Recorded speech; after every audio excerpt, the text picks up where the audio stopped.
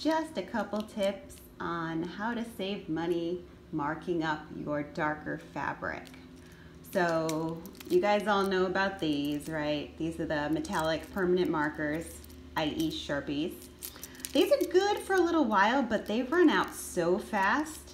And even if you do soak them in alcohol and recap them, they still don't last very long.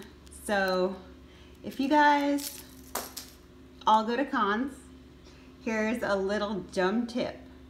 So you notice this white on here? Take a guess at what it is.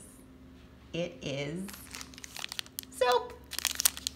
So we go to a lot of cons and nobody ever uses soap because we're furries. So I just take the soap and take a chunk off like this and you can just, you know, mark up the fabric. And I know it's a little ugly, but it comes right off. Just, you know, stick it in the wash. The end.